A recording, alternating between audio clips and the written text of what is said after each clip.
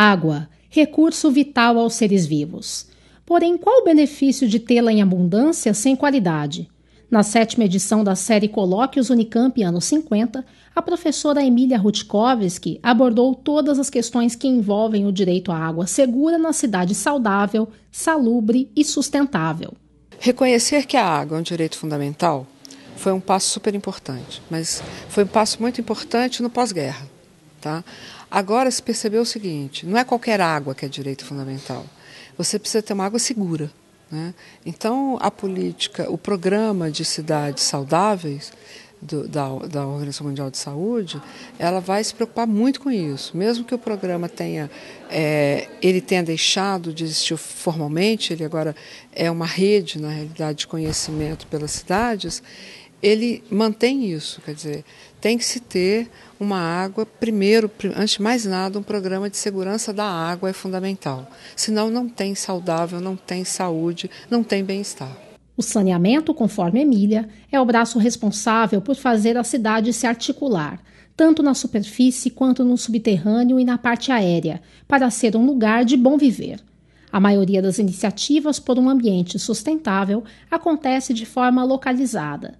Mas hoje não é possível falar em bem-estar sem pensar em mudança global de comportamento. A questão hídrica é uma questão holística, né? Não adianta só olhar o problema da poluição ou é, a necessidade da água, e sim o todo, como que é o sistema hoje das cidades, como as cidades estão se desenvolvendo e quais são as necessidades de nós seres humanos.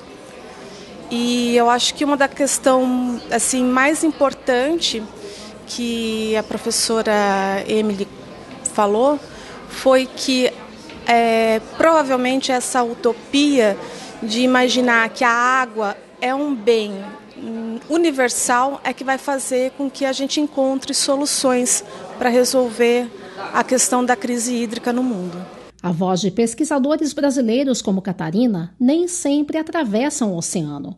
Em alguns países, questões ambientais não frequentam a roda de discussões.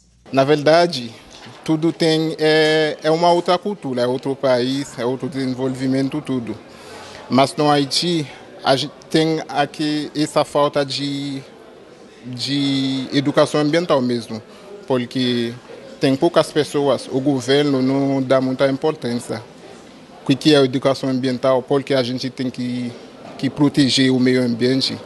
Aqui no Brasil é, tem, mas tem esse conhecimento, mas nem todo mundo usa. Todo mundo fala de recursos naturais, tem que proteger, mas proteger é outra coisa. Fala de proteger, mas nem toda a cidade que tem que protegem os recursos naturais mesmo.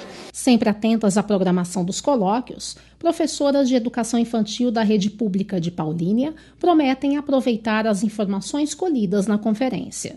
São muitas informações históricas e a situação atual do mundo, né? E com pequenas ações dentro da educação infantil é já trabalhar com as crianças para a importância da água, a importância disso no nosso dia a dia e no nosso futuro. Então, pequenas ações. Isso faz com que eu me prepare para tomar pequenas atitudes com eles e eles já serem preparados para o nosso futuro. Muito importante porque a gente precisa estar tá a par das informações, das pesquisas, são tecnologias, são informações que são de ponta e que a gente precisa estar atento, até para estar transmitindo, levando um alerta para os alunos de como está a sociedade, a natureza, o meio ambiente. Então, muito importante a gente estar a par disso, sabendo disso. A série tem mais duas conferências programadas. As inscrições estão abertas na página do Unicamp Anos 50.